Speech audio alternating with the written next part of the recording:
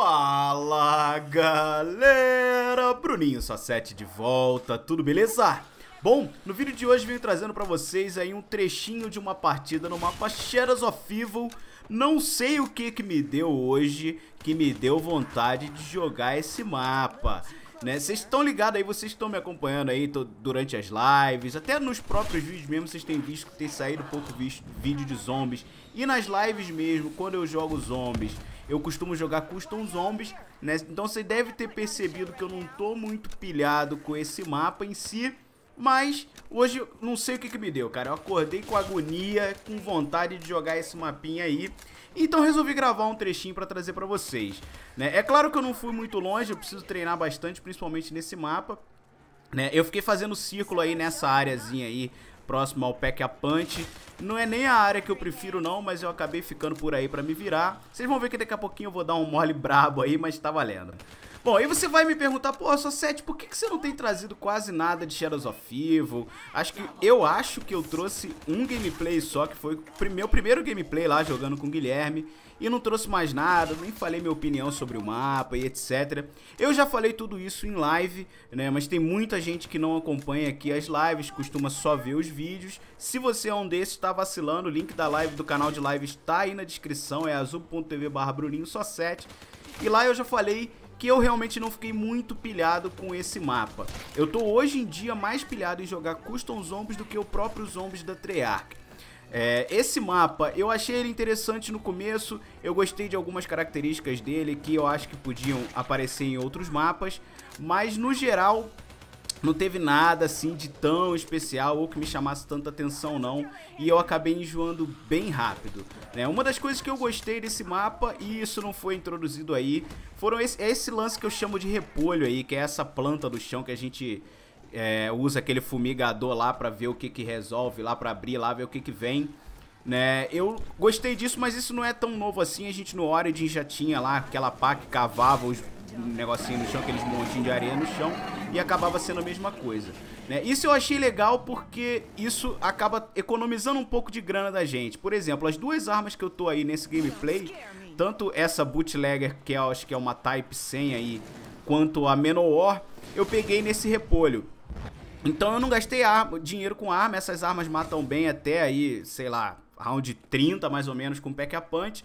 Então é uma boa economia, vocês estão vendo aí, por round 22 eu tô com 50 mil já. Então eu, esse, isso eu achei uma adição interessante. O fato de você cair com três tapas eu achei também muito interessante, porque isso deixa um pouco mais noob friendly, né? Faz o cara ter mais estímulo para jogar por mais tempo. Ele acaba sobrevivendo um pouco mais e por conta disso ele acaba insistindo e jogando um pouco mais o jogo. Antigamente era um pouco cruel, tinha gente que não suportava a ideia de morrer tão rápido e acabava abandonando a partida.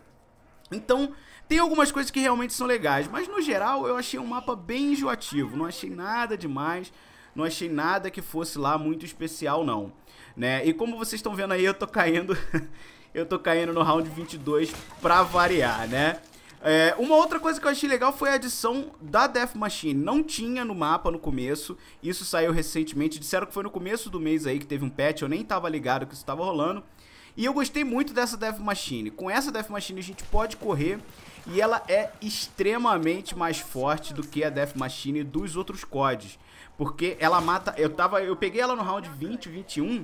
E ela mata quase que no insta-kill todos os zumbis. Então, ela é bem forte. Ela tem uma boa mobilidade. Então, achei que foi uma boa edição. Era um drop que eu acho que tava realmente faltando aí no BO2. Então, galera, é isso, assim, eu não, realmente não trouxe muita coisa do Shadows of Evil, como eu falei, enjoou um pouquinho, mas eu tô curioso pra ver como é que vai ser o novo mapa, eu não vou saber pronunciar nunca, é Der Arzen Flame, sei lá, né? Todo mundo que jogou falou que o mapa é muito melhor do que o do, do Shadows of Evil. Então eu tô um pouquinho curioso para ver como é que vai ser. Tô um pouquinho ansioso para ver se vai ser legal ou não. Mas não tô tão pilhado, tão apaixonado assim por esse modo zombies não. Desde o BO2 que eu venho me frustrando um pouquinho com os zombies da Treyarch. E no BO3 ele foi só... Ele amplificou um pouquinho né, o, o BO2. Nesse mapa aí ele misturou um pouco o Mob of the Dead, o Shadows of Evil o Shadows of Evil, o, o, o... Ih, cacete, o Origins, né? E o, o novo mapa falaram que também tem algumas das características de mapas anteriores aí do BO2. Então tô curioso pra ver, mas não tô lá muito pilhado não. Eu tenho pensado, galera, aí você vai me dizer nesse vídeo aqui agora se vale a pena ou não, deixa aí nos comentários.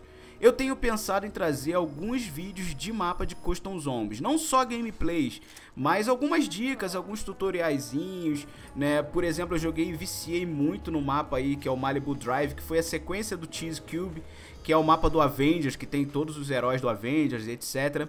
E foi um mapinha que eu pilhei, viciei, quis descobrir o easter egg, ainda não consegui, mas descobri bastante coisa do mapa.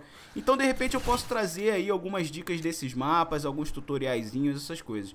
Do Shadows of Evil, não pilhei de fazer. Por sorte de vocês aí, o Hayashi ficou pilhadaço, cobriu o mapa inteiro. E tá cobrindo um mapa novo também aí, pilhadaço.